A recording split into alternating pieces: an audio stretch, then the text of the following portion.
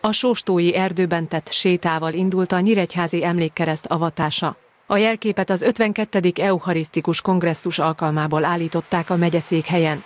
A szentelést követően a Nyíregyházi Egyházmegye püspöke elmondta, Isten mindannyiunk életében ott van, de ezt jelenvalóvá kell tenni, ezért pedig fáradozni kell. Hozzátette, a kereszt a mindenható szeretetét és jelenlétét hirdeti. Én nagyon örülök, hogy Nyíregyháza lett egyik ezen helyszíneknek, hiszen a különböző felekezetek keresztény együttműködésben élnek itt Nyíregyházán és a megyében, és örülök, hogy a kereszt ennek egy szimbolikus kifejező jele is, ami egyben kifejezi azt az ősi egyházi tanítást, hogy felelősségünk van a teremtett világ iránt, és nagyon örülök, hogy itt az erdőgazdaságnak a részeként a kereszt is megjelenik.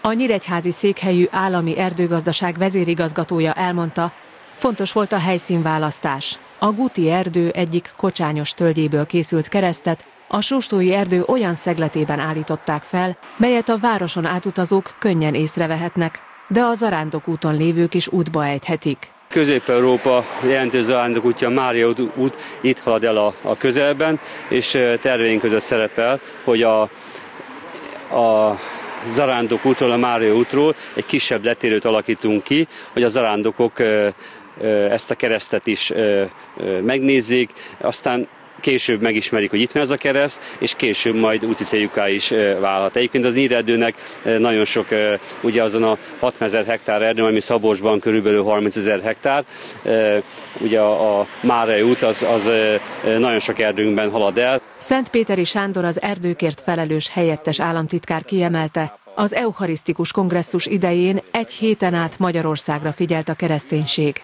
Mint mondta, Ferenc pápa a teremtett világ védelmére hívta fel a figyelmet, ezt az üzenetet hordozza az a 21 kereszt, melyet az állami erdőgazdaságok területén állítanak fel, erősítve ezzel az erdők spirituális funkcióját. Egyrészt emlékezünk keresztekkel, de nagyon sokat teszünk azért, hogy a meglévő emlékeinket megőrizzük, hiszen az állami erdőgazdaságok területén, az ország számos területén vannak jelképek, fák, jelképes fák, képes fák, keresztek, útszéli keresztek, és ezekre is nagyon odafigyelünk, hogy jó állapotban maradjanak meg, emlékeztetve arra mindenkit, hogy a hit az nagyon fontos, nem csak a mi munkákban, hanem a mi mindennapi életünkben is.